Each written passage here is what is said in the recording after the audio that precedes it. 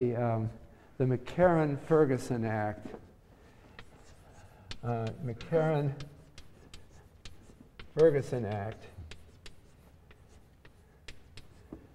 in 1945, which specified that insurance regulation is entirely for the state governments. Um, and uh,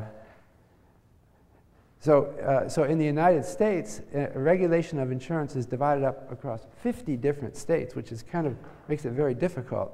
It's very difficult because that's a lot of different regulator, regulators to deal with. One thing that we have is something called the National Association of Insurance Commissioners,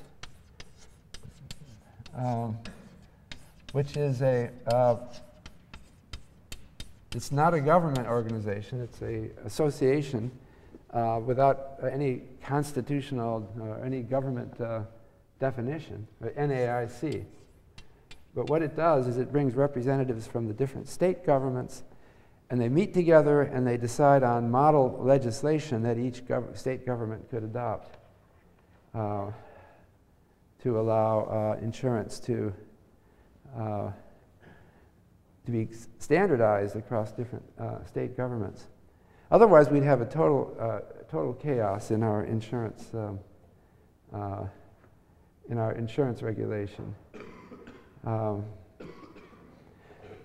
you might be aware that under the